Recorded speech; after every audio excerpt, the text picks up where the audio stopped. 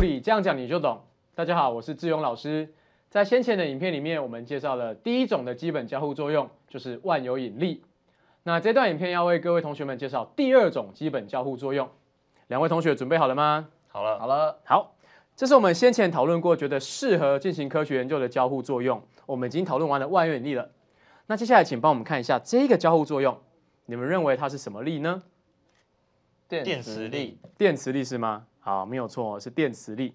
好，那我们要研究电磁力的话呢，我想要先请两位同学帮我写一下。如果啊，我们看一下静电力的部分的时候，静电力跟万有引力都一样是力嘛，对不对？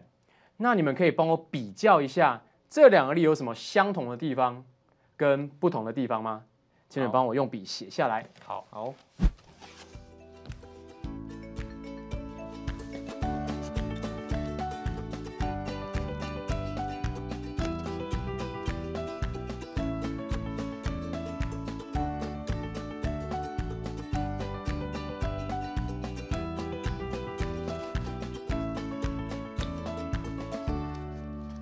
好，那我们来两个同时请同时翻过来好了，我们来看一下相同的地方。我们请傅军先说。相同的，我觉得就是两个长相，就是都有点球体的感觉，圆形的，都是圆，对。然后他们都是越近的话，那个力会越大。越靠近力量越大。相同的部分，我认为是都是水平的受力，然后都会跟质量或电荷成正比。好，哎，我想要请教一下季龙，你说的水平是什么意思啊？就是两个球体的受力方向是水平的，假如相吸的话，哦，是这个方向相吸或相似连心线方向的意思。对，那排斥的时候会不会是水平？也会是水平哦，。也会是，所以它们相同的地方就是不管怎么方向都是水平的这样。对，那呃，傅军的意思是越靠近力量越大。对。那季龙是说呃，跟质量跟电荷成正比。嗯哦，一个是质量，一个是电荷这样。好，那不同的地方，不同的，我我觉得是就是质量我们没有正负嘛，哦对然后电量的话有，就是有正电荷跟负电荷哦这，样。真的耶。我认为不同的地方是他们会依据电荷的异同性嗯，来改来决定它的受力方向。相吸或是相斥，是不是？。对，哦，所以相同的部分是跟某些东西成正比，要不就是跟质量，要不就跟电量。相同的地方还有跟距离有关，越远就越小，这是他们相同的地方。但是呢，不同的地方是就是一个有正负，一个没有。对。然后有正负就会影响它的相吸或相斥。对，哎，所以这个时候我想要问一下，请问那你们可不可以猜猜看，静电力的公式大概会长什么样子？它好像跟万有引力有一点相同，对不对？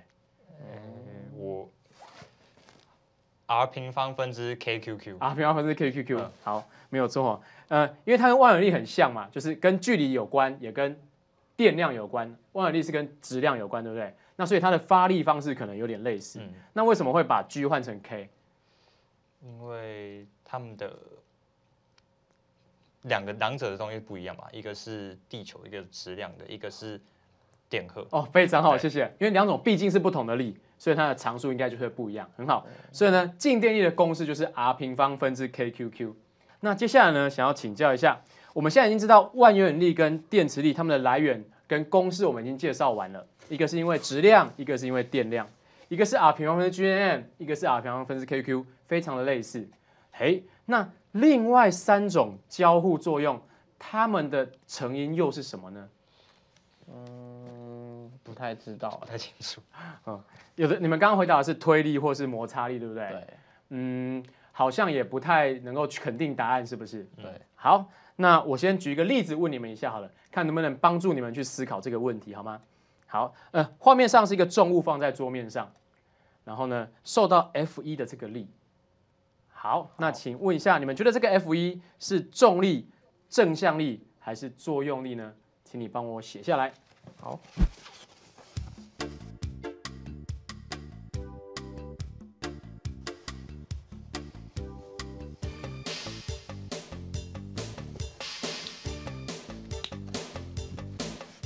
好，那我们可以一起翻开来。那傅君，请说。我认为 F1 是重力，对，它往下，它它是重力，但是它就不算是正向力，嗯哼，不算正向力，但它也算是一种作用力。算是作用力。哎，季龙，我认为是重力，不是正向力，然后是作用力。哎，所以你们两个的意见算蛮一致的，对不对？好，那我接下来要考考两位喽。你们都说它是重力，那它能不能也叫做电磁力？不能，为什么？因为我认为它电磁力的话，应该是不会是因为质量所产生的力。嗯哼，我觉得不是真不是电磁力，不是电磁力，为什么？因为它是就是地球吸那个物体下去下去。哦，所以它没有电磁力的那种成因。对，嗯，哦，电磁的成因是什么？电荷有电荷有，电荷嘛，对不对？嗯或者有磁场，对不对？对哦，所以这个成因没有电荷或磁场，所以它不算电磁力。对对。好，那它能不能叫正向力？你们都是写不行嘛？不行，嗯为什么？因为我认为正向力应该是源自于重力，嗯哼，你不能倒因为果，不能倒因为果，你要有重力才能有正向力。对，我我不太确定就是正向力的定义。哦，不太确定正向力的定义。好，那季龙这边讲说，呃，正向力必须源自于重力，对不对？来自于重力的起因。可是其实啊，那我问一下，那如果是两颗球的互碰，或者我的手推墙壁，那个能不能算正向力？好像可以耶。哎，可是那就没有重力在里面啊。哦，好所以是不是其实只要怎么样都可以算是正向力？只要有接触，有接触，对两个物体互碰都可以算正向力，对不对？可以但是这个是不是没有互碰的感觉？没有？所以你们觉得它不能算正向力？对，嗯，好，那最后一个问题，哎，这个 F1 能不能叫作用力？你们的回答都是可以，可以为什么？因为它是物体，就是被地球吸下去，所以是就是物体，哎、地球给物体的作用力。地球给物体作用，嗯很好。季龙，因为它是源自于重力，而重力也算在作用力的其中一种。哦，重力是作用力的其中一种，对啊因为有给物体一个作用，这样，所以对重力也是作用力的其中其中一种。哎，你们的回答都很好，哎，所以呢，其实我们发现啊，同样的一个状况，它可能有不同的表示方式。一样的这个 F1，大家认为它既叫重力，也可以叫做作用力。好，那我们再举另外一个例子，让你们更了解一下力到底是怎么命名的。其实啊，我举我们人推重物当做例子好了。当我们人推重物往前的时候呢，我们会说这个力叫作用力。那同时有作用力就会有反作用力，我推物体的作用力，它的反作用力就会是物体物体推力，对，很好，物体推我们嘛。所以这个时候啊，如果我们在分析两个物体之间，我跟你，你跟我之间的力，我们就会叫作用力跟反作用力。可是同学，我当我推这个物体的时候啊，同样举这个力来讲，这叫我推它的力量。如果这个时候物体不会动，可能是因为什么？推不动一个物体太重，太重，还有摩？擦力，因为有摩擦力抵抗，对不对？哎，所以我们这时候出现另外一种名称叫推力、摩擦力、正向力、撞击力。这些力为什么会叫为什么会这样命名？很明显嘛，就是因为我们生活中看到它怎么来的，就叫它什么名字。所以呢，我们同时可能会叫它呃摩擦力或摩擦力来的就是摩擦力，那用手推就叫推力。老老师，我想问一下，那个摩擦力跟就是推力这部分也是算是交互作用的一种吗？算不算基本交互，作用是吗？对，嗯、我目前教到的基本交互作用有哪些？你们还记得吗？诶，刚刚讲的重力跟重力跟电磁力，哦，万有力跟电磁力，对不对？好，当我们在描述一种力是不是基本交互作用的时候，其实我们探讨的不是两物之间，也不是类别，我们探讨的是力的来源。那我们现在学到的是呃万有引力跟电磁力这两种。万有引力的来源当然就是质量，电磁力的来源就是电或是磁，对不对？好，我们只有学过这两种基本交互作用哦。那请你们再帮我分析看看，我这个手啊推物体的力量可能是来自于哪一种交互作用？推。我认为是电磁力，哎，那傅君呢？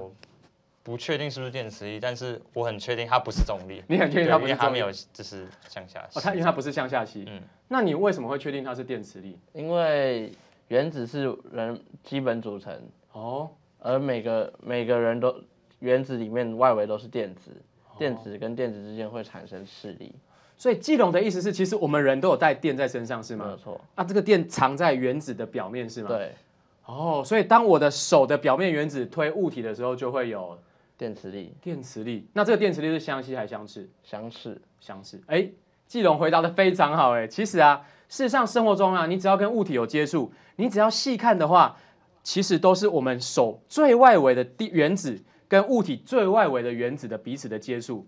那原子的最外面当然就是电子在绕行啦。所以呢，请看这个图哦。这个图最外围的电子啊，就会跟别人的电子互相排斥。所以其实我们好像有推到物体，那其实是我们手最外围的电子跟物体表面最外围的电子在互斥，而形成的电磁力。可是呢，在我们的眼睛看来都是接触力。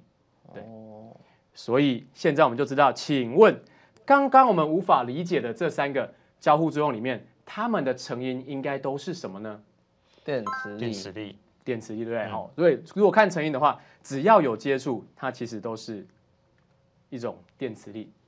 好，那今天这段影片呢，我们为各位同学推导了哦，呃，静电力库仑力的公式，那 R 平方分之 KQQ，然后呢，也介绍了其实啊，不管在生活中任何时候，我们的接触力啊，微观上其实都是表面的电子互斥，所以所有的接触力啊，在微观上都是一种电磁力哦。今天这段影片就介绍到这边啦。那请同学继续往下欣赏，我们接下来会介绍另外的两种基本交互作用。那先这样喽，拜拜，拜拜拜。